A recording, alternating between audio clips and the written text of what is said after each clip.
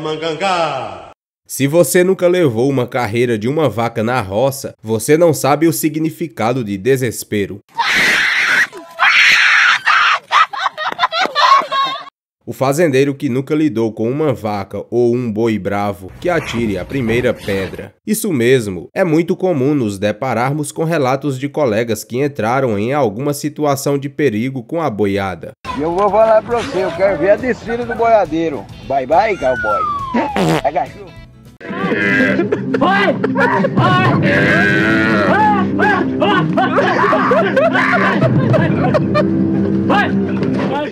O gado Nelore sempre foi sinônimo de animais extremamente reativos e causadores de problemas durante o manejo. Mas e aí, será verdade mesmo que o Nelore é bravo? Ai do céu! Corre!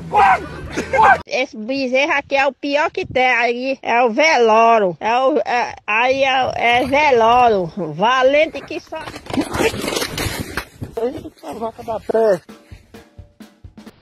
Talvez um dos vídeos que ficou mais famosos foi de uma mulher levando um coice de uma vaca na cara no ano de 2012.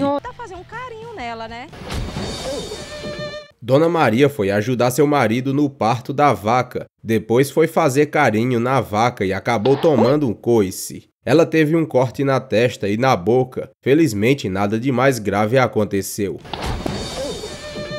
A vaca por nome Mimosa era muito brava e até quis atacar um jornalista que foi entrevistar Dona Maria. Cambada de homem mole. Os ciclistas são as pessoas que mais sofrem com os bois bravos na estrada. Vai, Fusca! Vai! Vai!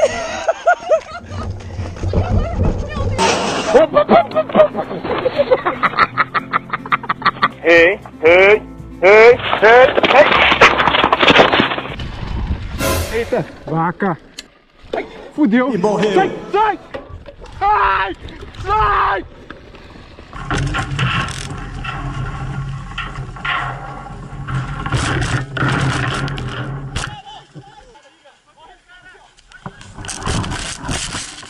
Nelore é uma raça inteligente e seu comportamento reflete como um espelho aos estímulos e interações com as pessoas e o ambiente.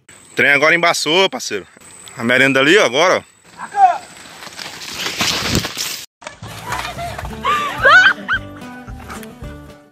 Uma vaca brava colocou a polícia para correr na zona rural de São José do Xingu, Mato Grosso. Os policiais queriam apenas soltar a vaca que estava presa na cerca, mas depois de soltar não teve acordo. A vaca correu atrás dos policiais.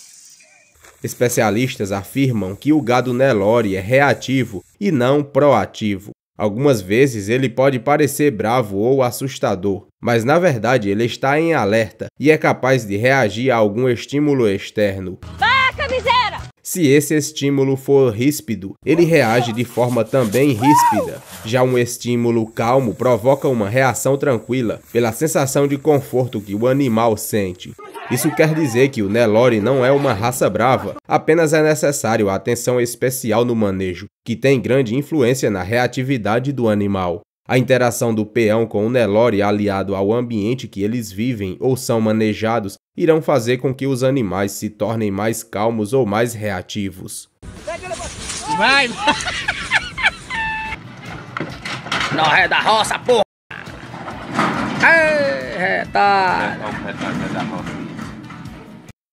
Os bovinos são animais que têm memória, ou seja, qualquer atitude que cause dor ou medo terão ações que podem causar dificuldade na lida e até ataque aos responsáveis pelo maltrato ou se defender.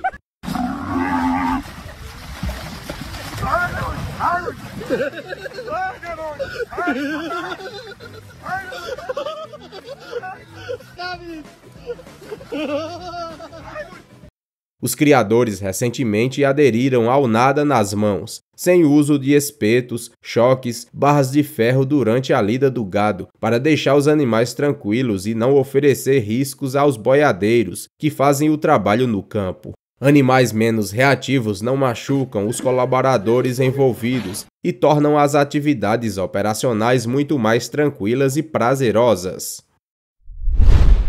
O bem-estar animal tem sido preocupação crescente entre pesquisadores, produtores e consumidores de todo o mundo que passam a exigir com maior intensidade uma conduta humanitária no tratamento dos animais. No que diz respeito à produção, transporte e abate, há projetos de pecuária de corte no Brasil que já seleciona e se preocupa com o temperamento. Animais dóceis são muito mais produtivos e fáceis de lidar. Isso é levado em conta, pois cada dia mais as pessoas estão preocupadas com o que está chegando ao seu prato. A exigência de que o tratamento do gado seja mais humano é algo que está presente cada dia mais na cadeia de produção de carne, tanto para o Brasil quanto para as exportações. Por isso que o manejo racional, tanto falado hoje em dia, é levado muito a sério. E você teria coragem de passar na frente de um boi ou uma vaca que está te encarando? Deixe seu comentário.